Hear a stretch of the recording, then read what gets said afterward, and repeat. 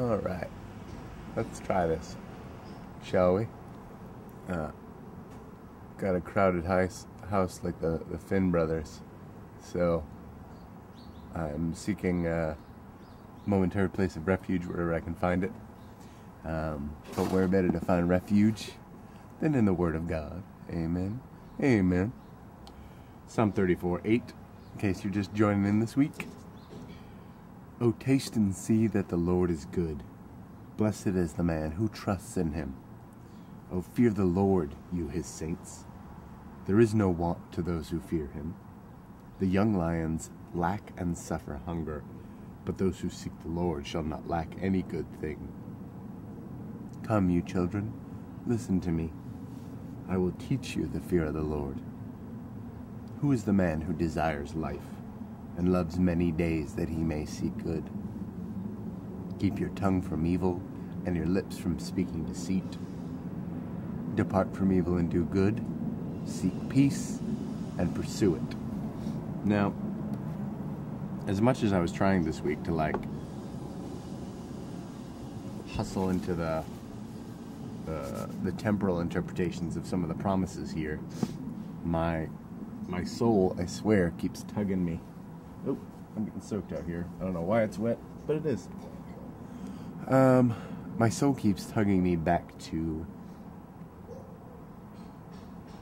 this understanding of uh, of David's excitement here and praise here, pointing towards a God who proclaims himself in goodness and in mercy and in provision for his people, certainly temporally. I mean, the Old Testament is filled with stories of, uh, you know, uh, uh, walls felled and enemies defeated and, uh, you know, miraculous uh, escapes planned and executed with uh, divine and dexterous glee. And indeed, the New Testament is full of miracles in the name of of Christ, of, of God made flesh. But there's something I feel like in the very essential celebration of God's goodness that these promises speak to the my kingdom is not of this worldness of God, which is not that uh, I'm saying God has any less uh, dominion over this world but he has given this world over to many things that specifically do not please him, which seems strange and contradictory all by itself. But I truly believe those are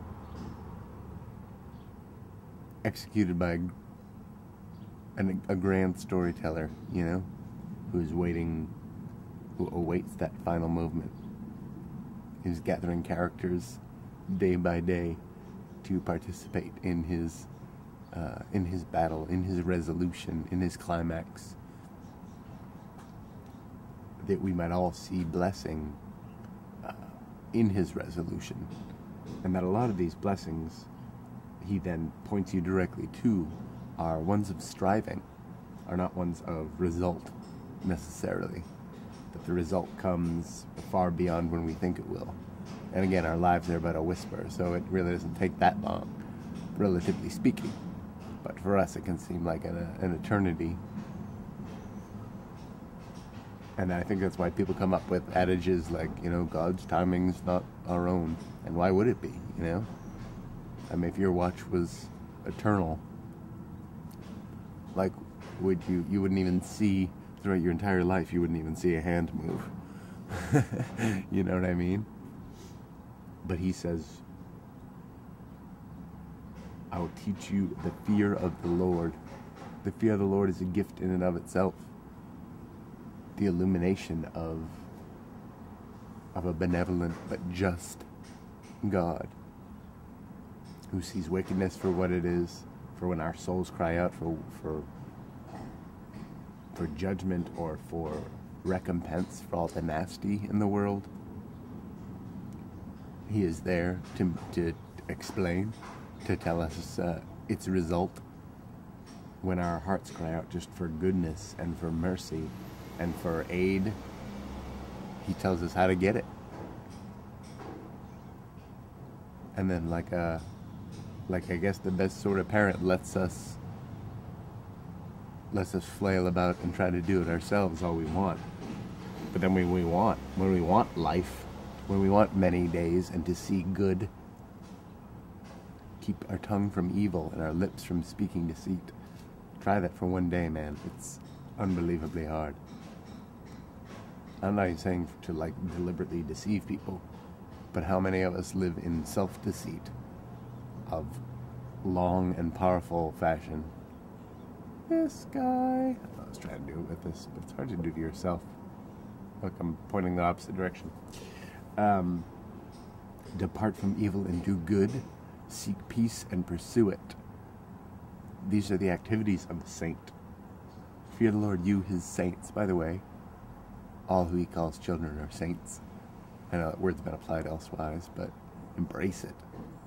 Embrace it. Embrace the whatever the burden it may have for you, because it's a light one. It speaks to goodness and gentleness. Do good. Depart from evil, which is what we desire, and do good. Seek peace and pursue it. Chase it every day. make him a quotidian obsession. And that, in and of itself, the very journey, the very striving, is in and of itself his blessing. It is the lack of no good thing. Because indeed, it is, a, it is to even see those things as good, to even see goodness, and then to pursue it becomes our, our delight it becomes our joy. It becomes our peace. Piece by piece, anyhow. Amen. And Selah.